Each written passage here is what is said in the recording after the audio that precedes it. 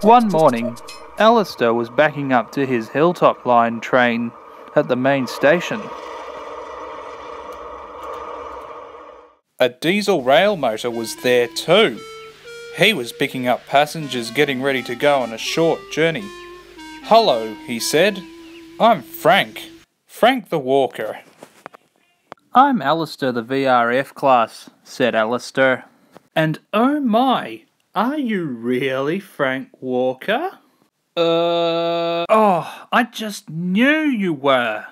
Well, Mr. Walker, the Fat Controller needs new tiles in his bathroom. uh, he would appreciate if you delivered them this afternoon. Goodbye.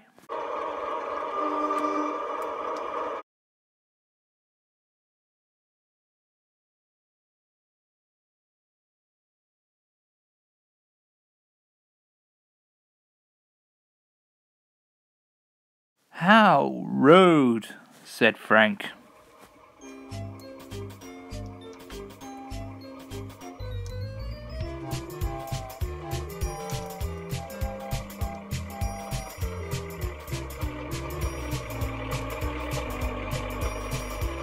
Calling me Frank Walker? Hmm, I don't know about that.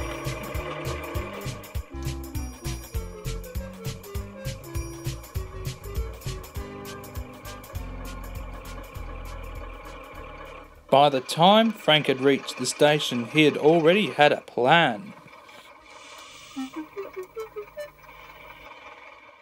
Later on, he spoke to his driver. I'm not Frank Walker, am I? he asked his driver. No, but you were named Frank, and you are a Walker rail motor. So I, I kind of get where Alistor's coming from, but it was a little rude of him doing that to you when he first met you. Do you reckon Alistor meant good? asked Frank. Uh, I think he did. Oh, well, we better tell that to the engines then, said Frank. Alistor rolled on to the turntable.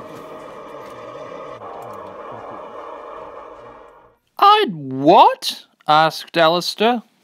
You know very well what you did, little Alistor, said Robert in a gruff voice, making fun of Frank, a new diesel rail motor who is visiting us for trial purposes. But it was meant to be a joke.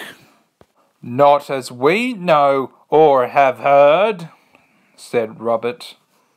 Actually, yes, came a voice, and there, not far away, was Frank.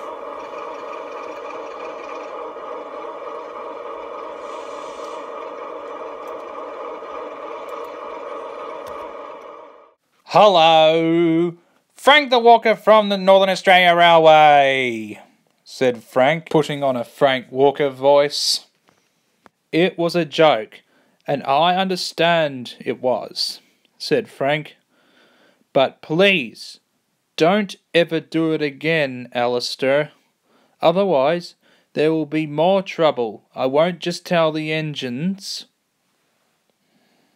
The engines all laughed.